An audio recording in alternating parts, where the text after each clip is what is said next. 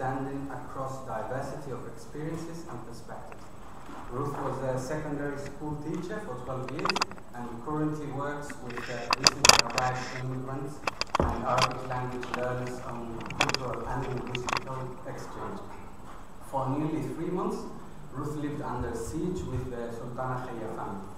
So she's going to speak a little bit about uh, that experience. Uh, then we have on here on my right uh, Becky Allen. Uh, she's going to speak on behalf of her own experience in uh, the refugee camps of Western Sahara, uh, and she's here on behalf of Western Sahara Campaign Sandblast and Adash. Uh, then we've got Taleb. Talib al Salim is a, is a Sahrawi activist uh, with a big presence in social media and a big ambassador of uh, the Sahara. Um, then we've got Ken Ritchie. Ken Ritchie is a very, very long member of Western Sahara campaign. Yeah, he's uh, been there since basically the beginning. Uh, then we have Oubi Bachir, which is the Polisario representative uh, for Europe and the European Union. And for last but not least, we've got Sidi Breika, who is the Polisario representative in UK. Uh, we're going to have Kim Johnson, which is uh, the MP for Liverpool and Riverside, uh, coming uh, a bit later. So, firstly, we're going to introduce uh, the conference with a video from Mohamed Meyara. Mohamed Meyara from the media group Equipe Media is a winner of International Award Freedom of Expression of the Union of Journalists 2020. He will tell us about the situation that the Sahrawi population is experiencing and also will show us the images documented by Equipe Media of the violations committed by the Moroccan occupation forces against the Sahrawi people. So the video is going to be there. Good morning, ladies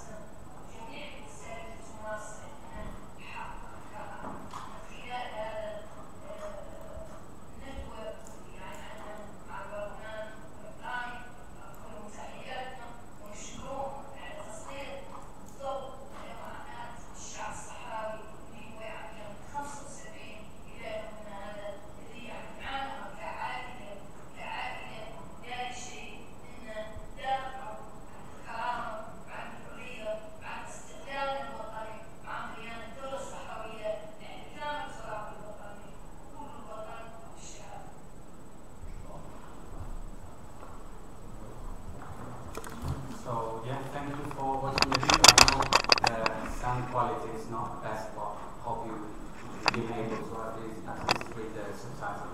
Uh, with no further delay, uh, we go with uh, Ruth McDonald. Um, can everyone hear me back? Is that okay? Okay. Um, hi, everyone. Good evening. My name is Ruth McDonough. Um, I'm a U.S. and a U.K. citizen. Um, and I apologize, this might be a little bit raw because last week at this time I was getting on a plane with Sultana leaving Rayun. Um, and I'm still figuring out what all this means um, as a relatively newcomer to the Sahrawi community and, and issue. Um, and it's my honor to, to speak and to carry my experiences and message from the 75 days that I spent with Sultana and the and the rest of their family under siege for international visitors and, um, and unarmed civilian protection. Uh, we were organized by a coalition of human rights groups in the United States in, uh, in conjunction with Sultana and her network within Western Sahara. And I was one of two team members who stayed in the house with the Khaya family for 75 days of the siege before Sultana left Boujdour a week ago. Um, during the time that we spent there, it was extremely clear that Khaya's situation um, represents a sampling of the tactics that are used to oppress the Sahrawi people, both material or materially, socially, economically, politically, and more. That was incredibly, incredibly clear. Um, and I'm going to speak to the, the, ongoing human rights abuses that I personally witnessed in Western Sahara, um, as well as the testimony that I collected about it. Um, the day that we, my team, uh, arrived was the 40, 482nd day that Sultana and daughter Khaya had been confined in their home. Um, they've been isolated and repeatedly attacked, tortured, raped, um, poisoned, and monitored 24 hours a day for all 482 days of that um, by the perpetrators of those crimes. Um, and I'm sure you can imagine what that was like within within the maybe you can't. Um, and their mother, uh, who, as Sultana said in her video, was 86 years old, um, was living in the home uh, and their main contact with the outside world. And that meant when the utilities were cut off, when the, um, the water and electricity were, were down, that it was an 86 year old who had had her, her shoulders actually um, injured and ripped by the torture that she had endured in the home, having her hands tied behind her back. Um, she was the one carrying her daughter's water um, while they couldn't leave the house. That, that's the kind of indignity that we came into. Um, I can't, before I, before I go on to what I personally witnessed, um, I can't overstate the importance of the international community in this situation. Um, and my status as both a UK and US citizen held incredible power, more power than I anticipated coming into that situation. Um, it's a power that deterred the most brutal forms of violence from, um, from being carried out on the Khaya family while the team was there. Um, and uh, and I'm uh, in a room here in London, I feel compelled uh, to call out the international community and, and all members of, of people living outside of Western Sahara um, because, because the international community is at best um, willfully ignoring Morocco's violence against the Sahrawi people and at worst aiding and incentivizing it. Um, and because of the, the, skewed power of the international community that we carried as, as um, civilian protectors, um, we also are aware that the behavior of the Moroccan forces around the Khaya family home changed because we were there. Um, and that a lot of the violence that was happening was hidden from us as well as it could be. And even with that change in tactics, it was still incredibly obvious and still incredibly visible. So um, here are some of the things that I saw and unfolded while I was in the house. So up to 20 plain, visible, plainclothes Moroccan police officers surrounded the, the, house where I was living for 75 days, um, 24 hours a day. We checked at all hours of the day and night. We could always see them. Um, and their role was clear. At times, they prevented people from entering the home, and there was consistent intimidation and always the possibility of violence at their hands. Um, one example is a 14-year-old boy who was detained twice while we were there, and one of those times he was held in an adult facility overnight. um, with no information uh, to his family about what, what had happened or when he'd be released. Um, many visitors were turned away, um, and other visitors who made it to the house later were punished, um, including, as you, some of you may know, Zainab Badi, um, who was one of the, the community members who joined us on the roof, um, calling for, for human rights um, and, and independence. Um, and for this, she was detained, brought into custody, beaten for three hours, and then when she was released and was walking home barefoot with her clothes ripped, um, beaten twice more by men who pulled up next to her. Um, and, uh, and she had just gone out to buy bread for her children. Um, she's had to have reconstructive surgery on her hands uh, because the bones were so badly broken. Um, and I didn't get to see Zainabu in person afterwards, though we've spoken on, on video, but I did get to see Fatima Al uh, who was beaten with a, a nail-studded club on the same day that Zainabu was attacked. It was a systematic, six of the women who had been in the house were attacked on that day. Um, and, and Fatima uh, had puncture wounds all over her legs from the nails in the club um, that she was beaten with. So visitors uh, across the community, women, children, and even repair workers who came to, to fix issues with the house, um, including Moroccan repair workers. Um, one who was in his 70s was beaten for coming to offer services to the Khaya family while we were living there. Um, there were also uh, verbal threats that included uh, visitors to the house being told that when we, the American and international visitors, left, that they would get the same as the Khayas had. Um, I assisted in a, in a makeshift uh, medical clinic where we, we did our best to, to serve people in the community when they were able to, to get to the house.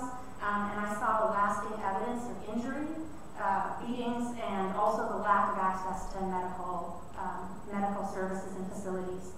Um, and many of the people who showed us their scars also brought photos and videos to show us how they got those scars um, or, or how over time those scars had developed and healed. Um, so much. Um,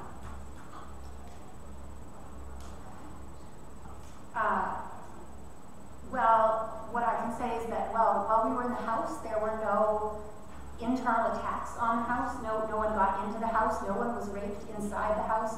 No one was beaten inside the house. But it seemed very clear, and was stated very clearly to the activists who were attacked outside, that the violence was redistributed um, outside the, from, from being concentrated on the Khayas to being concentrated all across activists in Boujdour. Um, and I also, of course, saw damage to the house, which included a poisoned well, cut wires, corrosive liquids poured on the walls, um, broken and destroyed furniture, and deliberately clogged sewage systems, which we continually were unclogging and then were getting reclogged outside the house because um, we couldn't protect them. Uh, these are some of the things that I experienced firsthand, and I also um, I also collected evidence. Um, people entrusted me with their personal stories their experiences and brought documentation uh, to show that those stories were true, um, even though their words should have just been enough to be believed. Um, I recorded hours of testimony, and I spoke with many, many Sahrawis informally, uh, both in person and over the phone when they were unable to reach us due to checkpoints and the blockade around the house.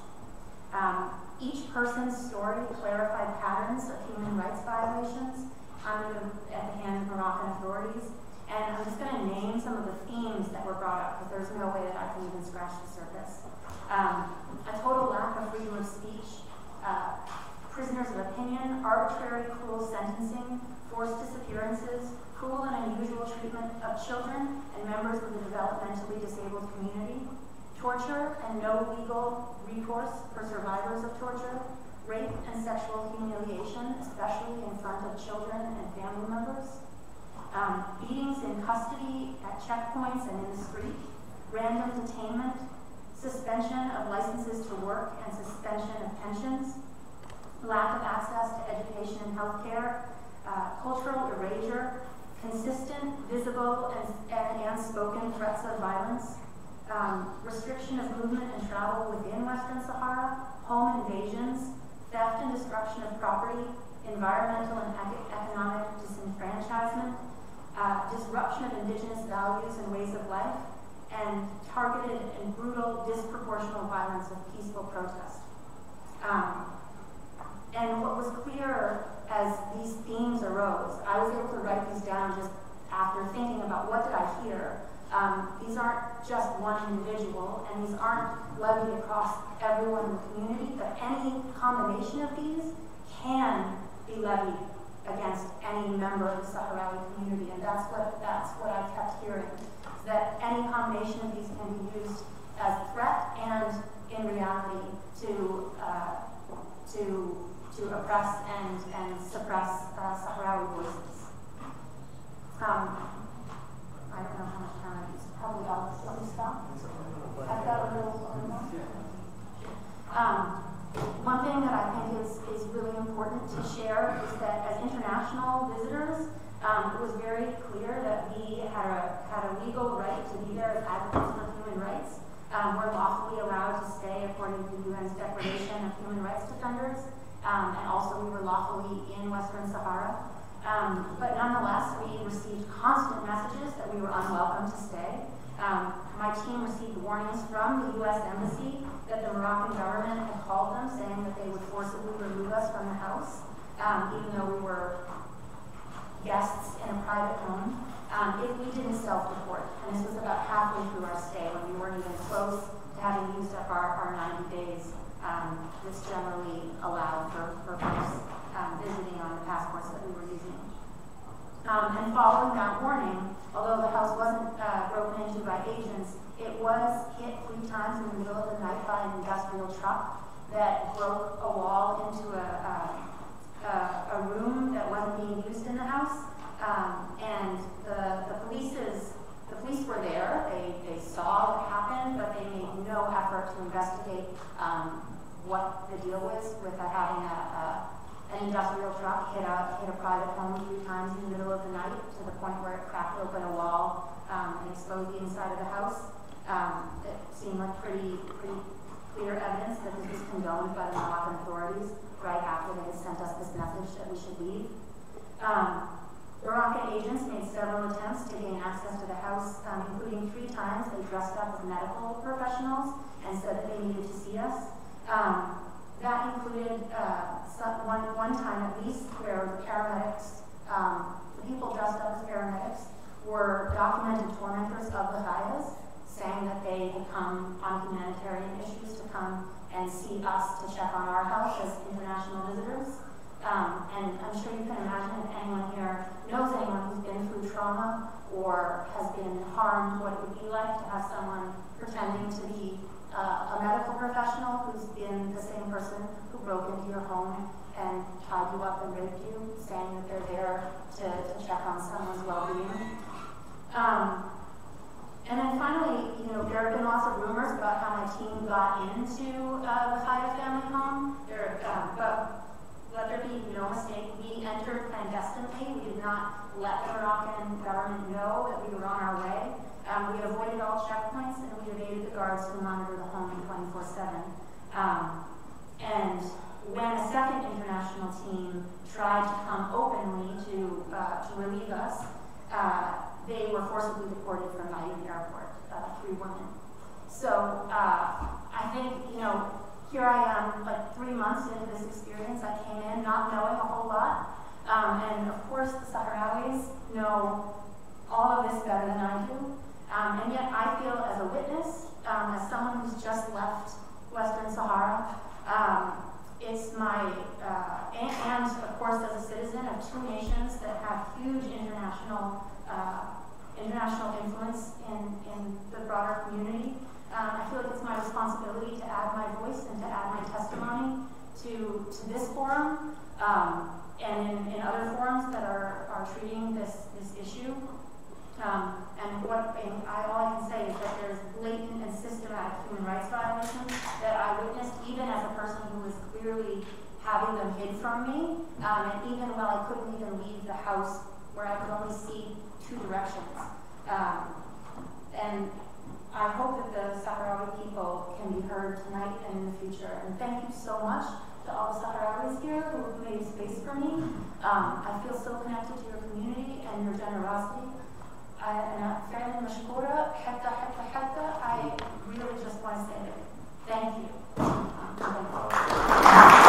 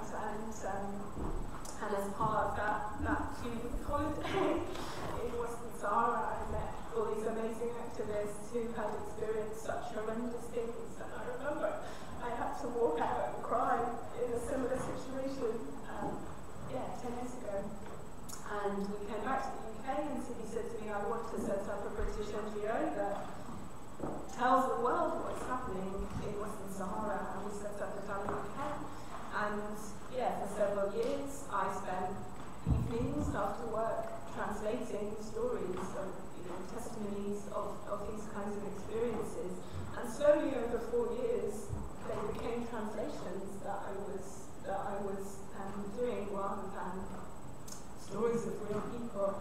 And so to, to sit here and hear all of that tonight is really is an incredibly important reminder that these are not just stories and witness testimonies, they are people's lives, they are children's lives, and yeah, it's really important to keep reminding ourselves as activists within our community that uh, yeah, this is a daily struggle for lots and lots of people.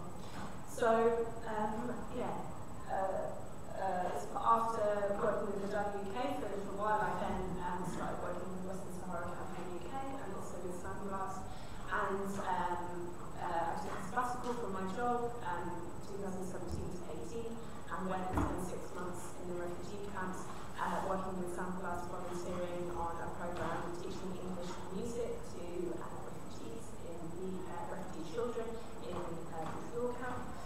Um, and yeah, I've just been back to visit for a little bit and left again with much of the same sadness about the fact that I have been going to the refugee camps since 2016, so little is changing and improving, life is getting harder, climate change is contributing more to, to these people than maybe anybody else on the planet. And uh, yeah, it's incredibly hard to con- uh, continue to see that nothing is changing for our Sahrawi brothers and sisters, um, either in the occupied territories or in the refugee camps, no matter how much some of the international community continue to do what they can. Um, situations completely out of the Sahrawi's control, um, yeah, mean that nothing, nothing is improving for the people. And so, you know, I actually emailed to you today about, you know, I struggle to continue to do all of this work as, alongside my job. And, you know, it's actually really important to come here tonight and remember exactly why I do dedicate my voluntary hours to this kind of work and why it's incredibly important that more people hear the stories that, that we can share of, um, you know, I always feel really uncomfortable sitting on this platform because you knows that because I would much rather Sahrawis stood up. Um, but I also, I do understand that it's really important that those of us who are friends within the international community do, do stand up and use the power of our voices um, to support um, yeah, our Sahrawi brothers and sisters who have been devoiced in, in so, so many scenarios. So I haven't really shared any of many of my experiences. I've just cried on you. but um, yeah, that's really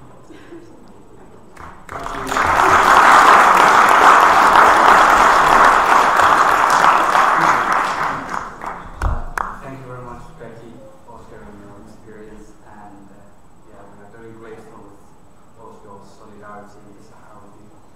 Um, going next, we're going to go with uh, um, Ken, Ken Ritchie. Uh, he's, uh, as I said, a long uh, member of the Western Sahara Commission. So, yeah. Well, thank you. Um, I'll try to be very brief. For, I think there are people who have a lot more to say than myself. Um, but I'd like to say just how important it is that we're having this meeting. More like this to actually remind Britain that Western Sahara still exists and that terrible things are happening there, as we've heard. Um, in Britain, there has been a sort of attitude that while Britain has a, a lot that should be on its conscience about Africa, that somehow Western Sahara, well, that wasn't actually our patch, and therefore it doesn't affect us. But it does. Britain was one of the earliest signatories of the UN Convention on Human Rights, and that means that Britain has got an obligation to be concerned about human rights everywhere. It's a member of the international community. It's got an obligation to uphold international law everywhere. And yet, it has got this blind spot on Western Sahara. Britain has been rightly outspoken about things like China's treatment of uh, democracy protesters in Hong Kong, about the treatment of the, Muslim communities in, in China. Correct it has done that. It's been silent on things that have been happening for, for decades in occupied Western Sahara. I'm delighted that Britain has had such a strong package of measures, economic sanctions, against Russia for its invasion of Ukraine, an occupation of Ukrainian territory.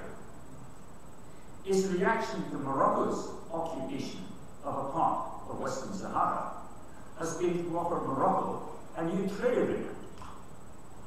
Now, I'm not saying that there's an equivalence of scale between what is happening in Ukraine and Morocco's actions, but the principles are exactly the same. And as to why, why we haven't seen any action to enforce the, the rule of law in, in Western Sahara. Britain has claimed a sort of neutrality. It claims it doesn't recognize uh, Morocco's claim to the territory, but it doesn't do anything about it. And it means it simply is a form of neutrality that suits very well Morocco's purposes. Now, of course, over the years, there have been people in, in Britain that have tried to raise the issue, that have tried to argue for change. Um, throughout the years, we have had a succession of, of members of parliament, of members of our upper house, who have been prepared to stand up and talk about it and try to raise it. But never really getting any traction, never really getting it um, into the realms of being a proper public, a proper political debate amongst our politicians. And then we've had the Western Sahara campaign that has existed for years. Yes, we have been small, but we have we have campaigned, we've campaigned, we have questions raised in Parliament, we've campaigned to try to expose some of the, the, the human rights abuses, the sorts of things that we've been hearing about tonight. Um, so that people get a better impression of what Morocco really is as a country and as a government.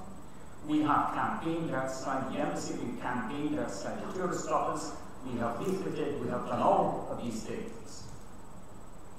uh, in recent years, we shifted our campaign a little bit towards campaigning against Morocco's exploitation of Western Saharan produce.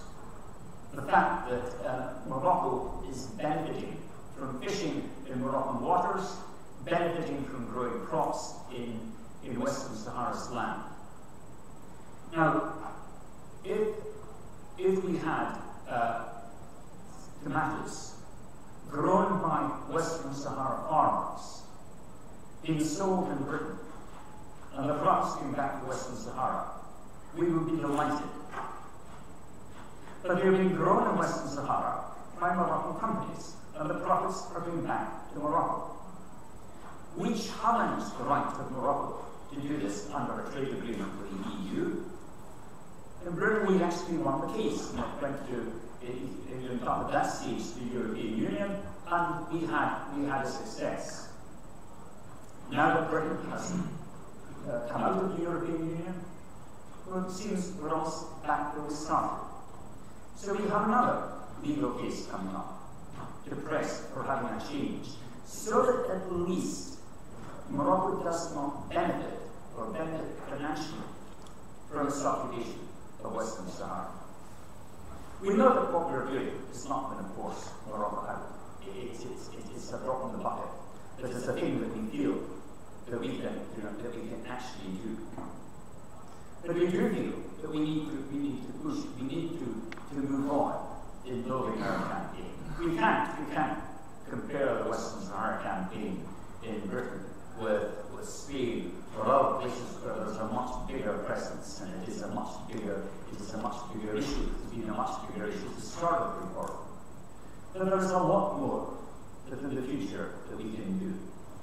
And at the moment, I think that see is the need for building or, or renewing the campaign within Britain as a broader movement in which we work together with those who are working, perhaps showing their solidarity through, through cultural activities, those who are arguing for more humanitarian uh, relief being sent things, bringing it together.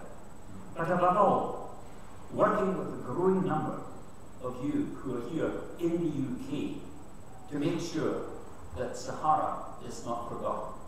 So that we work with you and we work with you in support with our friends in Polisario so that they can achieve the objectives that they want for the whole territory. Thank you.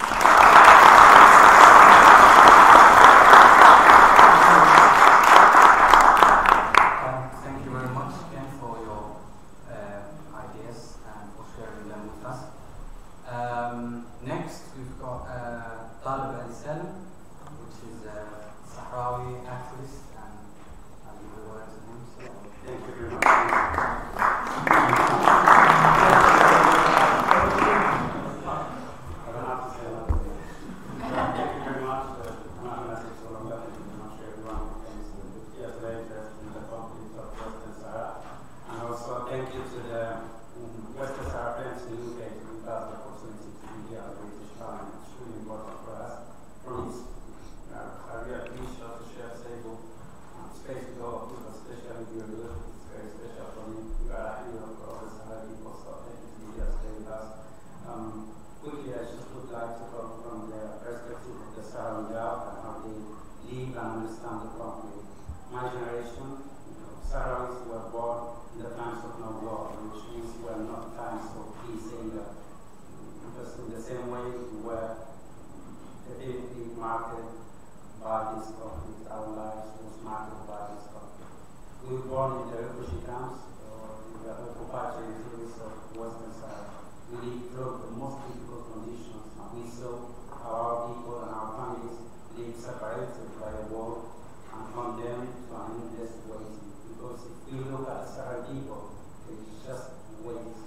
They're waiting in Morocco to end its illegal occupation of Western Sahara, or waiting maybe Spain decide to assume its responsibility to decolonize Western Sahara, or maybe waiting for the international community to take a real decisions that can change the future of the Sahara people, or waiting for the United Nations to carry out the agreement that they have promised. But the fact here is that after almost 50 years, the Sahara people are just waiting, a wait without any deadline. So from that work we have learned many things. One of the most important things that we have learned from that work is that the struggle and the hope will be our best friend to continue our resistance.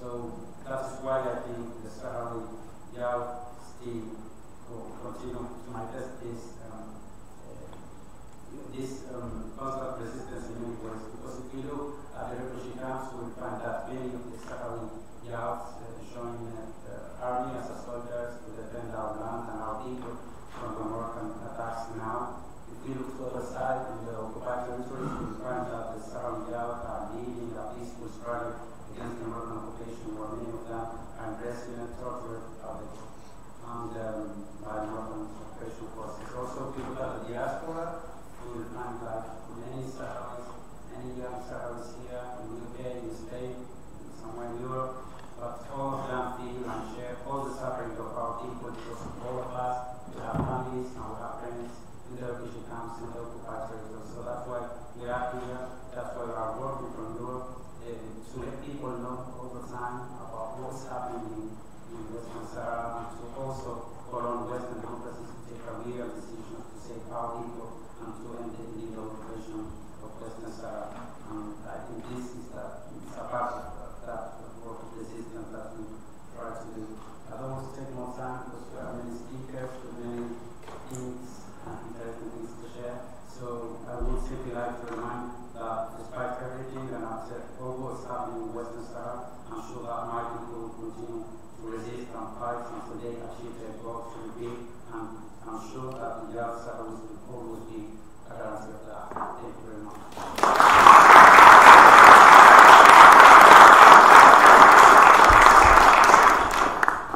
Thank you very much, Taleb. Uh, next, we have uh, with us here the Polisario representative for Europe and the European Union. Okay, thank you very much, and thanks for uh, everybody present here. And I would like uh, also to extend our uh, thanks to the APPG in the Parliament, the UK Parliament, Western Sahara uh, Campaign UK, but also all friends, and I want to make a sort of uh, special recognition for the presence of some ambassadors here with us in this debate this, uh, this evening. Especially I'm referring to our friend, the ambassador of Namibia, but also other members of the diplomatic corps. I see, I see the Cubans and maybe some other members and Algerians, I think, that are around. So we really thank you of being amongst us. Um, many things, almost everything has been said, uh, especially the moving, the two moving testimonies uh, from uh, Ruth and, and, and, and Becky and and other interventions. I would like just to touch on, on the on the actual status of things around the conflict in Western Sahara. Everybody knows that since November 2020, um, there was an entire collapse of the UN process that was, was in place in Western Sahara since 1991. And of course, it's, uh, it's, it's uh, an, an outcome of, uh, of, uh, of a combination between one, the inaction of the UN Security Council throughout those, those years, and especially or being on the logic all the time of managing the conflict instead of resolving it. The outcome was the collapse of the ceasefire, but also the second element was the lack of will from the Moroccan, from the, the Moroccan side, and being all the time on the refusal and the transition to allow one day of democracy uh, that the Sahrawis were uh, are still asking for, and they have been promised to have by the beginning of 1992. Now we are unfortunately back to, to, to square zero, which is the which is the war. 30 years back, um, we agreed together with Morocco under the auspices of the UN and the Organization of African Unity by, by then on, on a plan that was to, to lead to the organization of the referendum of self-determination. And we thought that, uh, everybody was thinking that it's just a six-month uh, preparations for that referendum, and the Sahrawis would be given the right to vote, and, and then it's up to them to decide what will be the final status of the territory. And, uh, and uh, but unfortunately, Morocco realized since the first day that any any genuine and free uh, consultation of the people of will lead to the independence, and that's why they have started uh, making many obstacles. And unfortunately, from the other side, at New York, there were no uh, firm will to to push for the settlement in that direction, and we ended up having those 30 years of diplomatic fatigue that led to the collapse of of, of, um, of almost uh, of almost every every everything. On the referendum, we may disagree with Morocco on modalities, and that's why and that's the meaning of the uh, an interest of having direct negotiations. That we can still agree on the modalities, but the problem that is, is that Morocco refused since especially nine, since the beginning of the 2000 refused the principle of the referendum of self-determination itself, which was the, the, the pillar, the main pillar of the whole logic of the UN, of the UN, of the UN efforts. And now uh, uh, they are embarking on this campaign about the autonomy that I may touch on uh, uh, later on. On the Polisario Front, the Sahars who have been very cooperative, have uh, proven to be really with a will, firm to, to, settle the conflict. We have been very generous in terms of concessions. We have started from the referendum with very clear options in front of the Sahrawis, the independence of the integration, and also on a very, very clear and exclusive basis to identify the people to vote on the, the referendum on the basis of the Spanish census. And we ended up accept, accepting the Baker's plan in 2003, where is, there would be a period of four to five years uh, under the Moroccan sovereignty with international, with international uh, guarantees, but, but uh, by the end of which a referendum of self-determination be organized, where not only the Sahrawi people will be voting, but also a very considerable number of Moroccan settlers. They will, they will be also given the right to, to, to vote. It was very risky and very even unpopular decision on behalf of the Polisario leadership uh, among the Sahrawis, but we decided to take that that uh, that uh, that risk to facilitate the, the mission of the UN. In the UN, unfortunately, Morocco refused the plan, and in New York, uh, it was all the time business as usual. Nobody is there to force and to oblige Morocco to respect the UN the UN decisions. We might still have the will to cooperate, and of course we have also declared that we will facilitate the mission of de Mistura and we try to, uh, within the international law and within the framework that is, is, uh, is um, uh, that is the, the, the, uh, the context in which the conflict should be, should be resolved, of course, but there is just one concession that we cannot make. We couldn't make it in the past, we will never make it. That was around the issue of self-determination and the right of the people to determine the final status. We can't make it because it doesn't belong to us, it belongs to the people of Western Sahara. And we think that, uh, that uh, it's even on the interest of everybody that the, that the, that the rules of the game are, are respected and the very central one in this sense is the right of the people to, to for one day of democracy where they will, will, will, will, vote uh, in a referendum of self-determination. In this regard, one of the position, positions that we, we, we commend is the, is the position of the, of the, of the UK, where there is still uh, support for the right of self-determination of the people of Western Sahara of being the central point in the whole process of dissolving the conflict in, in those. That is something that we, we salute and we think that the UK, because of this balanced position, uh, has the possibility to play a significant role now in, in, in, in this, this mediation and those efforts now uh, and the task that have been given to the new PE, the new person that involved, the Secretary General. Uh, um, Morocco is embarking now on this campaign that you know around the autonomy and that uh, they are offering an autonomy as a way to settle the conflict in Western. I don't think that I need to explain how this option is very much in contradiction with the international with the international law because it is uh, unilateral approach that uh, Morocco is trying to impose on the people of Western Sahara. The Western Sahara is a non-self-governing territory going through a process of decolonization. Everybody knows that the right of the people to choose is central in, central in this, and the autonomy doesn't respect uh, this.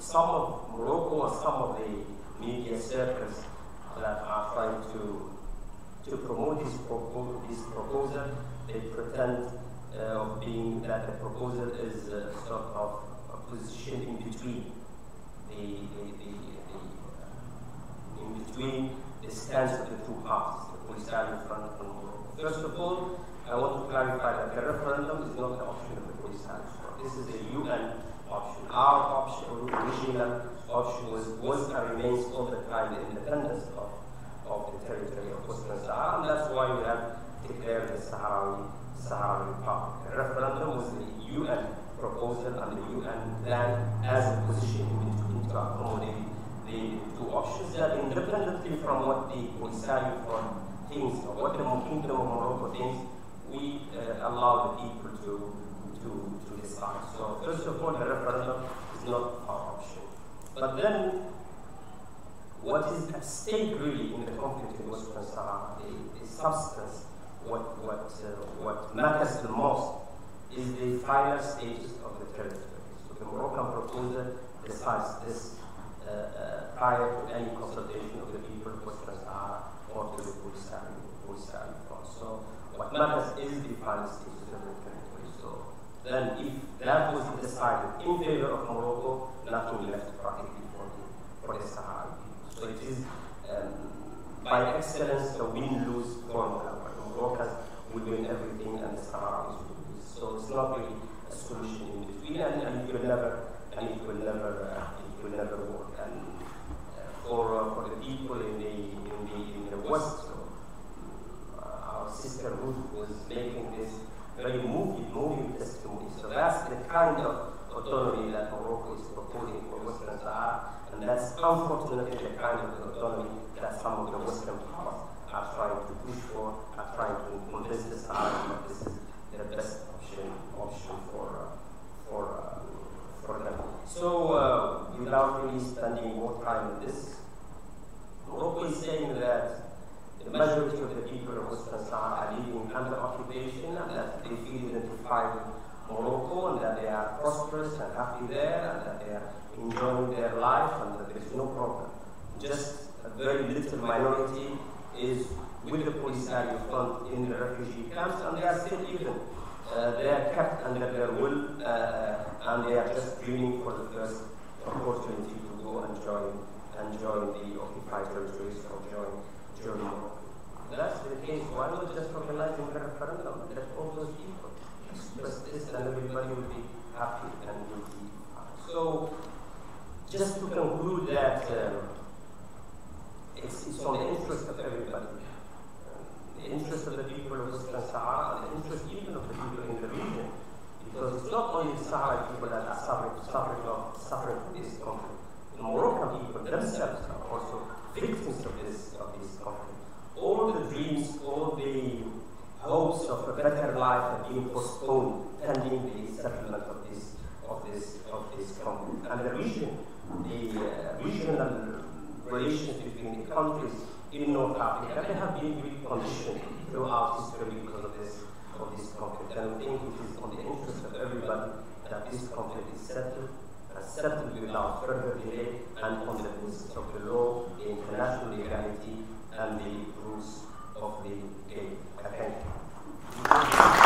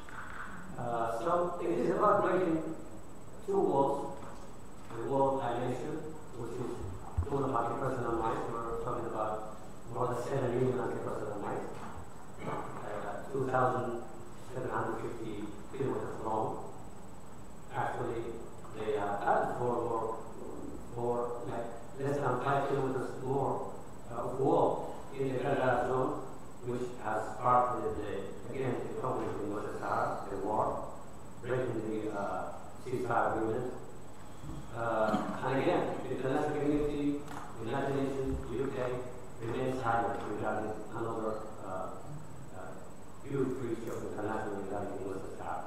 So it's about also breaking the wall of silence imposed on the occupied territories of West Sahara. There is uh, media blackout. Everyone has been witness. This international observers are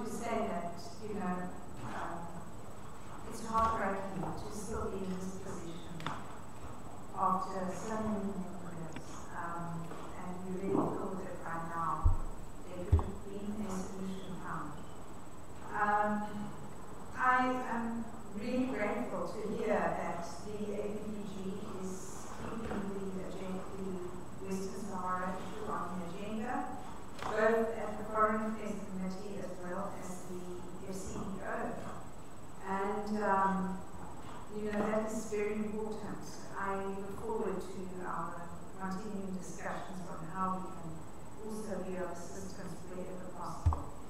And um, I just, you know, was just wondering if you had any, or if there's any particular focus for uh, a campaign, for the campaign committee. Um, going forward? I mean, is there any sort of new working on. Uh, you know, if you look, for example, the fact that you, this country is just been through Brexit, has that allowed you to change the focus of your campaign? Um, yeah, that, and then also what is the Security Council doing at this moment? Uh, how are you engaging with the UN at this point? I think I'll just leave it there.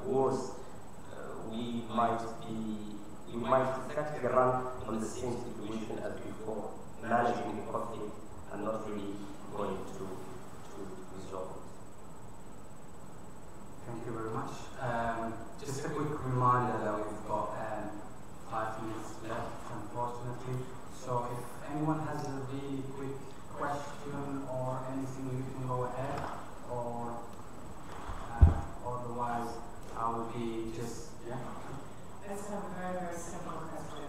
We have one. What is possible to do to break the issue blockade? What can we do? I this has been going on for so long.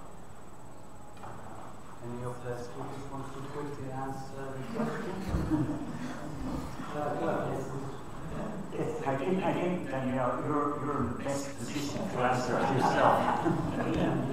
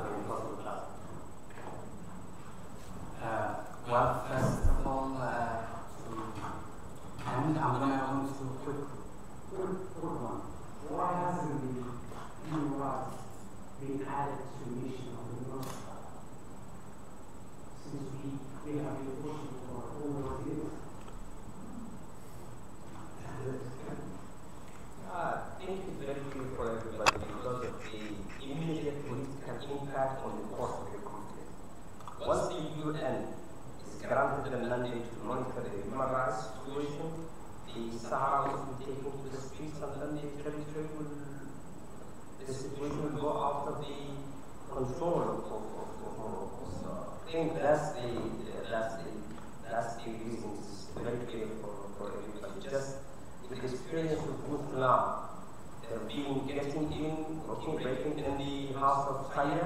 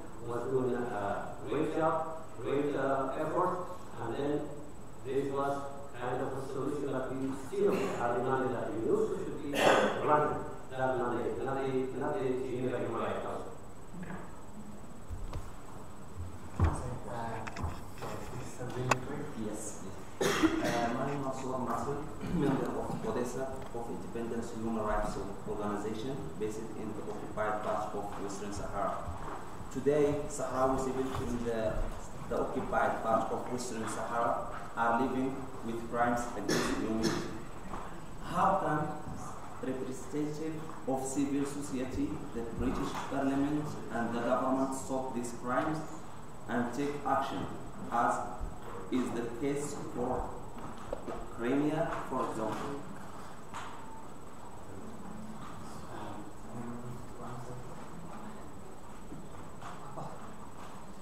I don't know if I have an answer to your question, but I've often thought about the contrast with the position in Palestine, where the emphasis changed hugely by the time that Palestinian civic society organizations had the freedom to actually do things. It meant that immediately there could be there could be the sort of contacts of solidarity and the funding that were there. Very often funding that was made available by Western governments. Western governments, perhaps in the case of Palestine, although they might have been very, very guarded in what they were going to say politically, were quite happy to somehow channel the funds into organizations that would do with human rights, that were to do with, um, they might have been to do with developing health services, but they would also say they were doing that for reasons of, of solidarity. Now, that's not quite yet possible, um, given, given, the, given the human rights situation in the occupying territory. But organizations like yours suggest that there's at least a debate to be started on how we can move in that direction so that, so that organizations outside can be, can be much more supported. Now, I don't underestimate the difficulties. And I just think it, it, it's a sort of, it's a comparison that is worth thinking about. Thank you very much. Um, I would like to finally thank you all for coming here and uh, uh, you do a lot to support the Western Sahara project. I want to thank all the speakers for, uh, from the heartbreaking testimony of Ruth to the good ideas of uh, Ben and the uh, diplomatic uh, point of view of Oubi. Um, I want, I want a quick reminder for all of you that can assist for next Saturday, 11th of June, we're going to have a protest in front of the Moroccan Embassy for the United Kingdom, which is number 6 Grosvenor Gardens at 12 uh, p.m. Uh, so I wish you all and invite you all to be present there. And finally, as well, I want to thank uh, the colleagues from the uh, Partido Comunista Español and Izquierda Unida for the uh, streaming. Uh, you helped us a lot today, and we hope this is going to be a start point for more activities and more campaigning in favor of Sahrawi people rights. So thank you very much all, and hope to see you on Saturday.